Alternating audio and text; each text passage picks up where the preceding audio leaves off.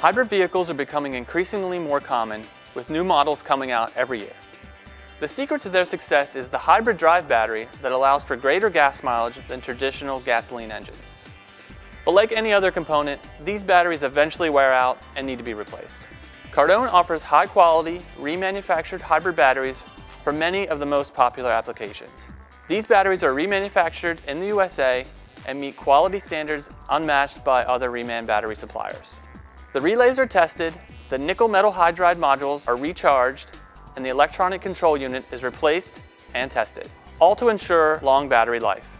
Our competitors claim their batteries have a shelf life of six months, but our studies reveal they suffer from inconsistent discharge rates resulting from unbalanced modules. So rather than the battery lasting its entire intended lifespan, they tend to wear down inconsistently and prematurely. Cardone's entire battery pack is balanced to ensure each module is operating efficiently. They are run through a series of tests including heat signature tracking for each module and a gradual discharge test to ensure battery longevity and optimum performance levels.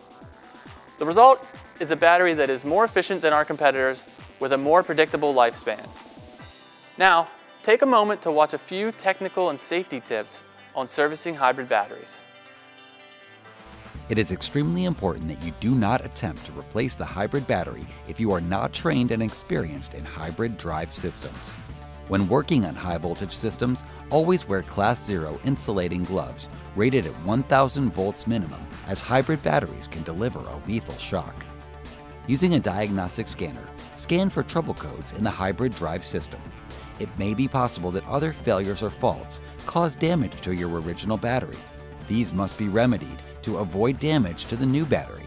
Always make sure to remove the service plug grip from the battery while servicing and keep the service plug grip in your pocket to prevent other technicians from reconnecting it while you are servicing the vehicle.